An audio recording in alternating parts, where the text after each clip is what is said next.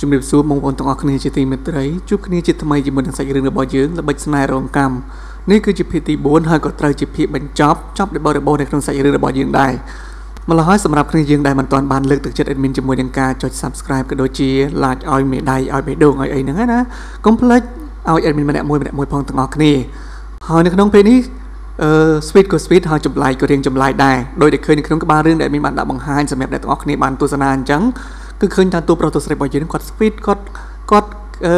នៅជាមួយគ្នាអញ្ចឹងណាក៏ប៉ុន្តែឆ្ងល់ថាតួប្រុសមិនបានជារត់ទៅដេកនឹងអតកោហើយរត់មកអោមគេវិញនេះឬចម្លែកវិធីសាស្ត្រចម្លែកអញ្ចឹងចង់ដឹងថាវិធីសាស្ត្រចម្លែកនេះគេធ្វើដើម្បីអ្វីកុំភ្លេចមកទស្សនាជាមួយនឹងការសម្ដែងរបស់ admin ដូចតទៅ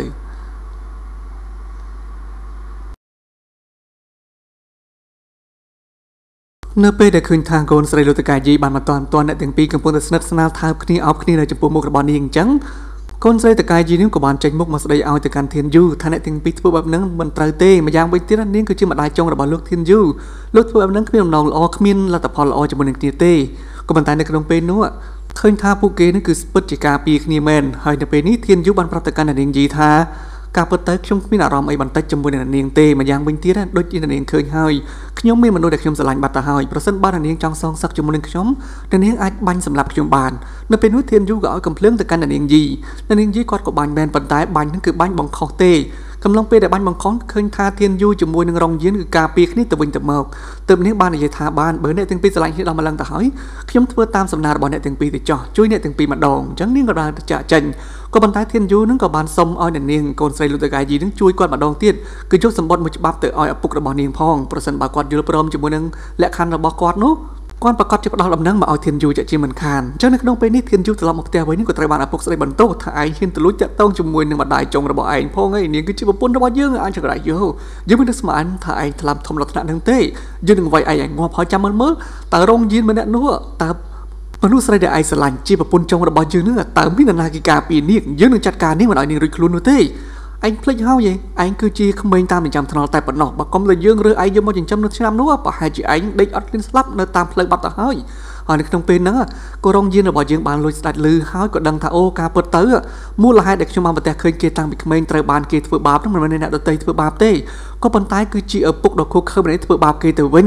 ហើយការពិតទៅអ្នកទាំងពីរមិនមែនជាឪពុកបង្កើតនៅជាមួយអញ្ចឹងនៅក្នុងពេលនេះរងយានក៏រៀងធូរចិត្តបន្តិចប៉ុន្តែអាណិតទៅលើ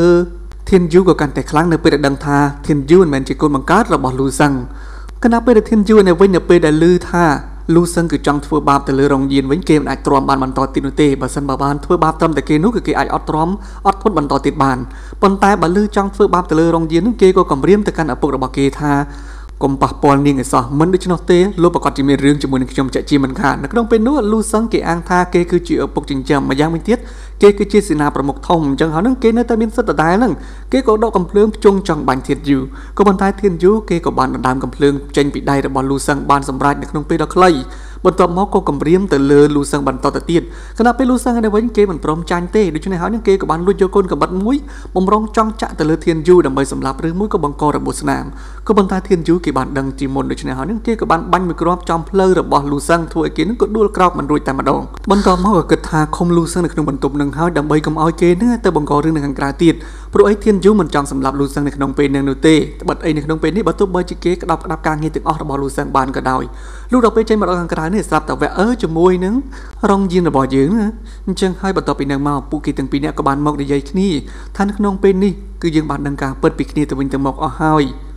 កាលពីមុនខ្ញុំត្រឹមតែជារបស់មួយដែលសម្រាប់ឲ្យលូសឹងបញ្ចេញកំហឹងដាក់លើខ្ញុំតែប៉ុណ្ណោះក៏ប៉ុន្តែចាប់តាំងពីខ្ញុំបានស្គាល់នាងមករងយានគឺនាងធ្វើឲ្យខ្ញុំនឹងមានពន្លឺនៅក្នុងជីវិតសាជាថ្មីធ្វើឲ្យខ្ញុំដឹងថាអត្តន័យនៅក្នុងការមានជីវិតនឹងមិនត្រឹមតែធ្វើជាឆ្កែបំរើឲ្យគេនឹងបញ្ចេញកំហឹងដាក់នោះទេប៉ុន្តែជីវិតរបស់យើងយើងត្រូវតែការពារមនុស្សដែលយើងស្រឡាញ់ ចាប់តាំងពីពេលនឹងតទៅពួកយើងសន្យានឹងគ្នាមកថាបើទោះបីជាមានរឿងអ្វីក៏ដោយទៅតែតស៊ូពុះពីឆ្លងកាត់ឧបសគ្គការពារគ្នាទៅវិញទៅមកអញ្ចឹងនៅក្នុងពេលនេះរងយានរបស់យើងក៏យល់ព្រមហើយក៏ព្រមព្រៀងរួមរស់ស្នេហាជាមួយនឹងគ្នាដែលប្រគល់ខ្លួនប្រាក់ឲ្យគ្នាទៅវិញទៅមកតែម្ដងទាំងអស់គ្នាហើយនៅក្នុងពេលហ្នឹងគឺឃើញថាអ្នកទាំងពីរគឺពិតជាផ្អែមល្ហែមជាមួយនឹងគ្នាមែនលុះដល់ពេលព្រឹកឡើងនេះទូប្រុសរបស់យើងក៏ត្រូវបានកូនចៅរបស់គេមកប្រាប់ថាមានការងារចាំបាច់មិនទាន់តម្រូវឲ្យ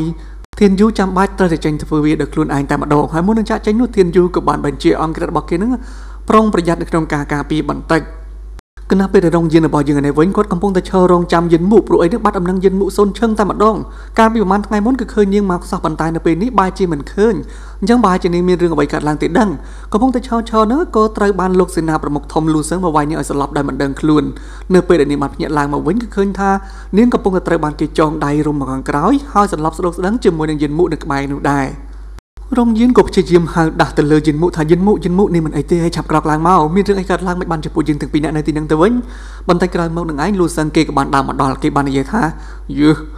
ដឹងខ្លួនឡើងមកវិញហើយមែនទេស្រីចំមក នាងចង់កុហកខ្ញុំដល់ពេលណាទៀតការពិតទៅនាងគឺជាប្រឌៀងអតីតរាជវង្សអង្គមុនដែលជាស្ដេចសម័យបុរាណនោះហេតុអីបានជានាងមកបន្លំខ្លួនធ្វើជាប្រពន្ធរបស់យើងទៅវិញតែในការពិតទៅនាងនឹងហើយគឺជាម្ចាស់ផ្ទះនៅក្នុងវិមាននេះនោះនៅពេលនោះរងយិនក៏បានតបវិញថាលោកយល់ច្រឡំហើយការពិតទៅខ្ញុំត្រឹមតែជាអ្នកបម្រើរបស់ប្រឌៀងកាលពីរជ្ជកាលមុនតែប៉ុណ្ណោះ ហើយខ្ញុំដឹងថានៅក្នុងផ្ទះមួយនេះគឺមានបន្ទប់សម្ងាត់ដាក់របស់ទ្រព្យជាច្រើនអញ្ចឹងហើយខ្ញុំមកទីនេះបន្លំខ្លួនមកធ្វើជាប្រពន្ធចុងរៀបការជាមួយនឹងលោកព្រោះខ្ញុំដឹងថាប្រពន្ធចុងរបស់លោកគឺបានស្លាប់បាត់ទៅហើយខ្ញុំមកទីនេះគឺគ្រាន់តែមានបំណងចង់មកបើកយកបន្ទប់សម្ងាត់ដើម្បីលួចយកទ្រព្យសម្បត្តិទាំងអស់នោះធ្វើជាអ្នកមានតែប៉ុណ្ណោះត្បិតអីខ្ញុំដឹងថា យិនមុខម្នាក់នេះក៏ធ្វើជាអ្នកបម្រើរបស់លោកនៅទីនេះដែរហើយខ្ញុំគ្រាន់តែចង់ប្រើប្រាស់នាងដើម្បីឲ្យនាងមកធ្វើជាបពុះរបស់ខ្ញុំតែប៉ុណ្ណោះអញ្ចឹងនៅក្នុងពេលនេះបើបំណងរបស់ខ្ញុំបានជាបាយការទៅហើយនាងក៏គ្មានប្រយោជន៍អីចំពោះខ្ញុំនោះដែរតែទោះបីជាខ្ញុំអាចប្រើប្រាស់នាងបានក៏ដោយមិនបានក៏ដោយនៅថ្ងៃមុខប្រសិនបើខ្ញុំអាចយកទ្រព្យសម្បត្តិចេញពីផ្ទះនេះបានណាខ្ញុំក៏មិនទុកចំណែកឲ្យនាងដែរយិនមុខនាងត្រូវខ្ញុំបោកប្រាស់ហើយ រងយានរបស់យើងនិយាយបែបនេះគឺមានបំណងចង់ឲ្យលូសឹងនឹងចាញ់បោកនាងហើយមិនធ្វើបាបយានមុខប៉ុន្តែលូសឹងវិញគេបានដឹងហើយក៏គេបានសោចចំអកទៅលើរងយានដែរថាស្រីចំអកស្មានតែយើងមិនដឹងហីព្រោះមុនពេលដែលនាងមកទីនេះគឺយានមុខបានមកធ្វើការឲ្យយើងនៅទីនេះ3ឆ្នាំរួចបាត់ទៅហើយនាងចង់សម្ដែងលក្ខណៈបោកនៅចំពោះមុខរបស់យើងមិនបាននោះទេឥឡូវឆាប់ប្រាប់យើងភ្លាមមកតើបន្ទប់សម្ងាត់ដាក់ទ្រព្យសម្បត្តិនៅក្នុងផ្ទះនេះនៅកន្លែងណាមិនដូច្នោះទេយើងនឹងជន់អំបាក់ជើងរបស់យិនមុខជាមិនខានទេឆាប់ប្រាប់ភ្លាមមក នៅក្នុងពេលហ្នឹងរងយានរបស់យើងដោយសារតែអាណិតទៅលើយីងមុខណាមិនដឹងជួយយ៉ាងម៉េចបានគេក៏សុខចិត្តនិយាយខាសារភាពប្រាប់ការពិតថាបានបានខ្ញុំប្រាប់លោកខ្ញុំនឹងបង្ហាញលោកថាកន្លែងណាចូលទៅក្នុងបន្ទប់សម្ងាត់ដោះលែងយើងទៅ អញ្ចឹងបន្ទាប់មកលូសឹងគឺគេបានស្រ័យចំណងដៃរបស់រងយានបន្ទាប់មកក៏ឲ្យនាងបង្ហាញផ្លូវទៅកាន់បន្ទប់សម្ងាត់នៅក្នុងពេលនេះយិនមួយរបស់យើងក៏ព្យាយាមប្របីរវាយកអំបែងដប់ដើម្បីមកកាត់ចំណងដៃរបស់ខ្លួននិងអាចប្រញាប់ប្រញាល់ទៅជួយរងយិនបន្តទៅទៀតគណៈពេលដែលរងយិនវិញក៏បាននាំលោកសេនាប្រមុខលូសឹងដែលជាសេនាប្រមុខធំចូលទៅក្នុងបន្ទប់សម្ងាត់បានសម្រេចដែលការពិតទៅឈ្មោះរបស់រងយានយើងគឺជាប្រនាងសម័យកាលបុរាណនៅរជ្ជកាលមុនដែលគេទើបតែផ្ដួលរំលំនឹងមានឈ្មោះថាហ្វូអឺទាំងអស់គ្នា ចូលទៅដល់ទីនោះនាងក៏សំណោះអាល័យទៅលើទ្រព្យសម្បត្តិរាជការសម័យស្ដេចអង្គមុនដែលជារបស់ទ្រព្យគេដំណើរគ្រួសាររបស់នាងណារួមជាមួយនឹងសម្លៀកបំពាក់មង្គលការដែលបន្សល់ទុកពីដូនតារបស់នាងមកទើបនៅក្នុងពេលនេះក៏ធ្វើឲ្យរងយានជាមួយក៏ហ្វូអឺរបស់យើងនេះ គឺគ្មានគំនុំជាមួយនឹងលូសឺនកាន់តែខ្លាំងទន្ទឹមជាមួយនឹងគ្នានោះក្បែររົບសម្លៀកបំពាក់មង្គលការនោះក៏មានដាវកាលពីសម័យបុរាណមួយដើមដែរនៅក្នុងពេលនោះរងយានរបស់យើងក៏បានដកដាវនោះមកចាក់ទម្លុះទ្រូងរបស់លូសឹងពីខាងក្រោយមកដល់មុខនេះប៉ុន្តែมันបានធ្វើឲ្យគេស្លាប់នោះទេហើយនាងក៏ស្លន់ស្លោដោយសារតែឃើញឈាមគ្នាជាស្រីនៅពេលដែលប្រើអាវុធចាក់សម្លាប់មនុស្សបែបហ្នឹងក៏មានការរន្ធត់ចិត្តជាខ្លាំងភ្លេចគិតនឹងភ័យខ្លាចខ្លាំងពេក ខ្លាចលូសឹងនឹងធ្វើបាបក៏រត់ទៅខាងក្រៅវិញដោយភ្លេចគិតថាលូសឹងនៅក្នុងដៃរបស់គេគឺមានកំភ្លើងដូច្នេះហើយលូសឹងក៏បានយកកំភ្លើងរបស់គេបាញ់ធ្វើឲ្យរងយានរបស់យើងរបួសមួយគ្រាប់រងយានក៏បានបញ្ញាបញ្ញាចេញទៅខាងក្រៅបន្ទប់សម្ងាត់បន្ទាប់មកក៏បញ្ញាបញ្ញាបិទទ្វារបន្ទប់សម្ងាត់វិញក៏ប៉ុន្តែដោយសារតែកម្លាំងរបស់នាងខ្សោយណាមួយកំពុងតែស្លន់ស្លោផងនោះ ក៏មិនអាចបិទទាន់ពេលវេលានោះទេនាងក៏ត្រូវបានលូសឹងបាញ់មួយគ្រាប់ទៀតចំពោះគណៈពេលដែលយិនមួនៅវិញនឹងទៅទៅរើពីចំណងរួចអញ្ចឹងក៏បានបញ្ញាបញ្ញាទៅជួយរុញទ្វារបំបិតឲ្យរងយិនគណៈពេលនោះនាងក៏ត្រូវបាន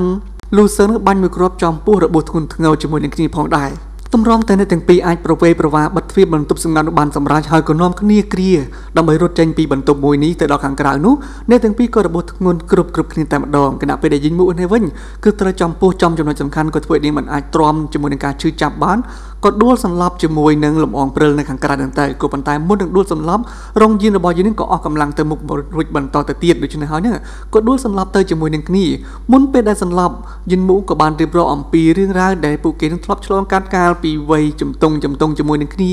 អំឡុងពេលដែលរជ្ជកាលមុនហ្នឹងគឺមិនទាន់បានត្រូវផ្ដួលរំលំអ្នកទាំងពីរគឺពិតជាស្និទ្ធស្នាលជាមួយនឹងគ្នាមើលថែគ្នាទៅវិញទៅមកនៅក្នុងពេលនោះវាគឺជាអនុស្សាវរីយ៍ដ៏ល្អមួយរបស់អ្នកទាំងពីរគណៈពេលនេះ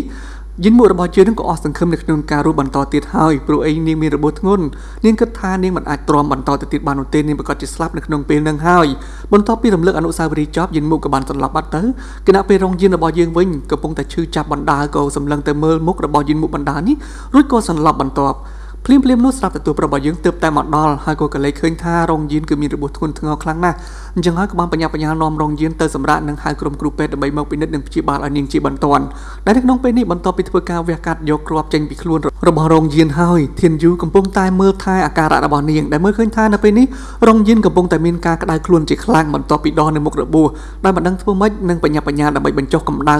ខ្លួនប្រាណរបស់រងយានបាននោះ ធានយូរបស់យើងគេក៏នឹកឃើញវិធីមួយគឺវិធីដ៏ចម្លែកបំផុតគេបានដោះអាវរបស់គេឲ្យបញ្ញាបញ្ញាទៅដេកនៅលើលំអងព្រិលនៅខាងក្រៅផ្ទះដើម្បីឲ្យខ្លួនរបស់គេចុះត្រជាក់បន្ទាប់មកក៏រត់ទាំងដោះអាវនោះត្រឡប់មកអោបទៅលើរងយានវិញដើម្បីផ្ដល់ភាពត្រជាក់ទៅឲ្យនាង ធ្វើបែបនេះម្ដងហើយម្ដងទៀតម្ដងហើយម្ដងទៀតរហូតដល់ខ្លួនប្រាណរបស់គេស្ទើរតែទ្រាំលែងបានបាត់ទៅហើយក៏ប៉ុន្តែវិធីនេះគឺពិតជាបានសម្រេចមែនទាំងអស់គ្នាឃើញថាខ្លួនប្រាណរបស់រងយានគឺចាប់ដើមចុះទៅជាឡើងមកវិញប្រកក្រដីនៅពេលដែលព្រឹកឡើងរងយានរបស់យាននេះបានភ្ញាក់ដឹងខ្លួនឡើងមកវិញគឺឃើញថាធានយូកំពុងតែគេងអោបនាងនាងបានអរគុណគេយ៉ាងខ្លាំងហើយក៏សប្បាយចិត្តដែរគឺបានផ្ដល់ស្នាមថើបមួយនៅលើមុខនៅលើមាត់របស់ធានយូនៅពេលដែលធានយូបានភ្ញាក់ដឹងខ្លួនឡើងមកវិញនេះក៏ឃើញថាកំពុងតែថាបាត់ទៅហើយអញ្ចឹងគេក៏ ណែហ្នឹងហើយឆ្លើយតបមកវិញភ្លាមភ្លាមនោះស្រាប់តែឃើញថាយិនមុក៏គ្មានរឿងអ្វីកើតឡើងដែរនៅក្នុងពេលនេះនាងបានជាសះស្បើយពីរបួសទៅហើយរបៀបថាលែងមានការជួយយកចាប់បន្ទាប់ពីទទួលបានការព្យាបាលលោកបន្ទាប់ពីនឹងមកនៅពេលនេះរងយានរបស់យើងក៏បានរៀបការជាមួយនឹងធានយូខណៈពេលដែលធានយូនៅវិញកំពុងតែស្លៀកសម្លៀកពាក់កូនកំឡោះហ្នឹងគេស្រាប់តែនឹកឃើញរឿងមួយថាឥឡូវនេះកូនចាស់របស់គេទៅតែបានរកឃើញអំពី កន្លែងលាក់ខ្លួនរបស់លូសឹងដែលលូសឹងបន្ទាប់ពីត្រូវរបួសកាលប្រយុទ្ធនឹងគេបានរត់គេចរួចខ្លួនក៏ប៉ុន្តែត្រូវបានកូនចៅរបស់ធានយូនឹងចាប់បានត្រឡប់មកវិញនិងចងទុកនៅមួយកន្លែងនៅពេលនេះធានយូថាមុននឹងរៀបការយើងត្រូវតែទៅដោះស្រាយបញ្ហាមួយនេះសិន គឺទៅចាត់ការលូសឹងជាមុនសិនគ្រាន់តែចុះមកដល់ភ្លាមលូសឹងក៏បានបញ្ចាច់បញ្ចោទៅកាន់ធានយូថាឯងចង់ធ្វើអីយើងអាចឆ្កែបំរើការពិតទៅយើងទុកឯងដូចជាសំណក់មួយក្បាលដូចជាឆ្កែមួយក្បាលនៅក្បែរខ្លួនរបស់យើងដើម្បីបញ្ចេញកំហឹងតែប៉ុណ្ណោះមិននឹកស្មានថាចុងក្រោយនេះឯងនៅតែជាឆ្កែដដែលរមិលគុណជាមួយនឹងយើងបែបនេះ យើងពិតជាមិនខ្លាចឯងនោះទេឯងអាចធ្វើអីយើងបានយ៉ាងច្រើនណាស់យើងស្លាប់តែប៉ុណ្ណោះក៏ប៉ុន្តែយើងបានធ្វើបាបឯងមួយមួយឆ្អែតមួយឆ្អន់បាត់ទៅហើយនៅក្នុងពេលនោះធានយូក៏បានបាញ់ទៅលើស្មារបស់លូសឹងមួយគ្រាប់ដើម្បីបញ្ចេញកំហឹងគឺមិនឲ្យគេស្លាប់ភ្លាមភ្លាមនោះទេតែដោយសារតែការបញ្ចាច់បញ្ចាំងពីលូសឹងធានយូរបស់យើងស្ទើរតែទប់កំហឹងមិនបានបាញ់សម្លាប់គេទៅហើយក៏ប៉ុន្តែភ្លាមនឹងស្រាប់តែរងយានរបស់យើងក៏បានទៅដល់ថាជប់សិនបើចង់សម្លាប់គេទោះឲ្យខ្ញុំគឺជាអ្នកសម្លាប់វិញព្រោះខ្ញុំគួរតែសងសឹកទៅលើគេនឹងជាជាងលោក បន្ទាប់មកក្រុងយានរបស់យើងក៏បានដើរបណ្ដើរនិយាយអំពីបាបកម្មដែលលូសឹងបានធ្វើចំពោះក្រុមគ្រួសាររាជវង្សរបស់នាងបណ្ដើរនៅក្នុងសម្លៀកបំពាក់របស់នាងគឺជាកូនក្រមុំនឹងឯងដែលនៅក្នុងពេលនេះលូសឹងបើទោះបីជាគេដល់ដំណាក់កាលនឹងក៏ដោយក៏គេនៅតែមិនព្រមភ្ញាក់រលឹកហើយក៏គិតថាទង្វើរបស់គេធ្វើអត់មានខុសនោះទេបើទោះបីជាគេក្បត់ជាមួយនឹងស្ដេចរាជការមុនក៏ដោយម្យ៉ាងវិញទៀតបើទោះបីជាគេធ្វើក៏ដោយនៅក្នុងពេលនេះទោះបីជាសម្លាប់គេក៏គ្រួសាររបស់រងយានមិនអាចរស់ឡើងវិញបានដែរ និយាយបែបយំអកបែបនឹងហើយក៏ធ្វើឲ្យរងយានរបស់យើងមិនអាចទ្រាំបាននាងក៏បានបាញ់ទៅលើស្មារបស់លូសឹងមួយគ្រាប់ប៉ាំងហើយនិយាយថានេះគឺជាការសងសម្រាប់ដែលលោកបានធ្វើបាបទៅលើធានយុអរយៈពេលជាច្រើនឆ្នាំបន្ទាប់មករងយានរបស់យើងក៏បានបាញ់មួយគ្រាប់ទៀតចំស្មាមកខាងទៀតរបស់លូសឹងហើយនិយាយថានេះគឺសម្រាប់លោកដែលបានសម្លាប់មិត្តភ័ក្តិរបស់ខ្ញុំបន្ទាប់មករងយានរបស់យើងក៏បាញ់ទៅលើជើងរបស់លូសឹងមួយគ្រាប់ទៀតពងដែលនិយាយថានេះគឺសម្រាប់មនុស្សជាច្រើនអ្នកនៅក្នុងរាជវង្សរបស់ខ្ញុំដែលលោកបានសម្លាប់ បន្ទាប់មកក៏បាញ់មួយគ្រាប់ទៀតលន់សុទ្ធតែពងហើយប្រាប់ថានេះគឺសម្រាប់ឪពុកម្ដាយរបស់ខ្ញុំមេដាបេដារបស់ខ្ញុំប៉ាំងមួយគ្រាប់នេះគឺបង្ហើយតែម្ដងទាំងអស់គ្នាបន្ទាប់មកនៅពេលដែលពួកគេបានសម្លាប់និងសងសឹកទៅលើលូសឹងរីរាល់អស់ហើយធានយូរបស់យើងក៏បានដឹកដៃកូនក្រុមរបស់ខ្លួនគឺរងយាននឹងទៅបន្តមង្គលការរបស់អ្នកទាំងពីរតទៅទៀតតែម្ដងហើយនៅក្នុងពេលនេះ ក៏យើងបានសន្មតថាសាច់រឿងរបស់យើងក៏បានចប់ដោយបរិបូរណ៍នៅត្រង់ចំណុចនឹងឯងដែលមានន័យថាទាំងតួប្រុសតួស្រីគឺនឹងត្រូវបានរៀបការជាមួយនឹងគ្នាបន្ទាប់ពីពួកគេបានសងសឹកទៅលើមនុស្សអាក្រក់លូសឹងដែលបានធ្វើបាបអ្នកទាំងពីរអស់រយៈពេលជាច្រើនឆ្នាំមកនេះ។ អរគុណច្រើនទាំងអស់គ្នាសម្រាប់ការតាមដាននិងចំណាយពេលវេលាទន្ទឹងរង់ចាំទម្រាំតែ admin នឹងអាចបញ្ចប់សាច់រឿងនេះបានបើទោះបីជាវាត្រឹមតែភាគខ្លីក៏ដោយក៏ប៉ុន្តែវាចេញរៀងយូរបន្តិចអញ្ចឹងណាអញ្ចឹងអរគុណសម្រាប់ការចំណាយពេលវេលារបស់គ្នាយើងទាំងអស់គ្នា